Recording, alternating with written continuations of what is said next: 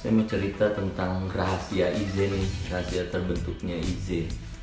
Jadi dulu saya emang salah satu dari produser yang dipilih oleh tim dari Hai dan TV7 untuk membentuk band. Ada empat kota dulu yang oh, dicari itu kota Jakarta, Bandung, Jogja dan Surabaya. Uh, kota Jakarta Dodi, terus Jogja Capung, Surabaya Didit dan saya Bandung gitu. Masing-masing di uh, tugasin untuk membentuk dua band dari sekitar 50 musisi atau 45 yang udah diseleksi kayak gitu.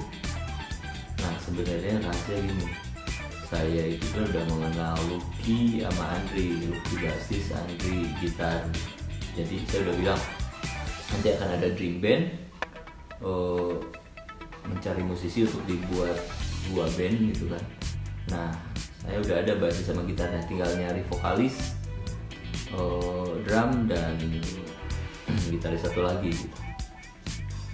Ini semua emang hak prerogatif saya sebagai produser mau milih siapa aja, menjadi personel musiknya dibikin apa aja, terus nama grup itu semuanya emang hak saya sebagai produser.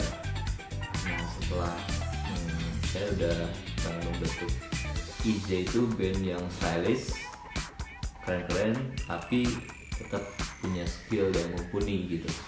Dan saya juga ngajarin mereka tetap attitude ya karena band gimana pun juga sebenarnya jago sebenarnya tekniknya hebat gimana vokalnya bagus gimana punya banyak tips kalau attitude nggak bagus hmm, saya sih kurang kurang suka ya pas lagi audisi saya tinggal nyari drummer, vokalis dan ya kita satu lagi karena konsep musiknya saya pengen agak-agak sedikit rock and roll modern kayak gitu. Nah, saya lihat ada seorang drummer kurus gitu kan sini pakai anting. Wah, juga unik juga anaknya gitu kan. Saya tertarik sama dia dan saya berdoa supaya dia mainnya bagus gitu dan ternyata oke okay, yaitu JJ gitu. Terus saya lihat ada gitaris satu lagi emang nggak begitu jago sih gitu kan. Tapi secara karakter dia menarik gitu kan. Yaitu Rizal gitu kan Rizal akhirnya dia masukin juga gitu terus pas nyari vokalis saya lihat ada seorang masih muda gitu umurnya masih saya lihat di biodatanya baru 19 tahun gitu kan baru keluar SMA tapi dia nyanyi di cafe gitu kan orangnya ganteng putih manis kayak gitu lah pokoknya.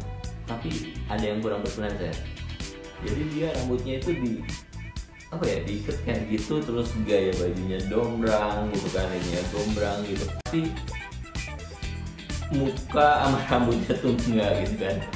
Dia cuma sosok aja dari fashionnya gitu. Tapi setelah kita kasih masukan dan dengan musik seperti Ize yang saat itu gitu kan baru berasa gitu. Yaitu Rizky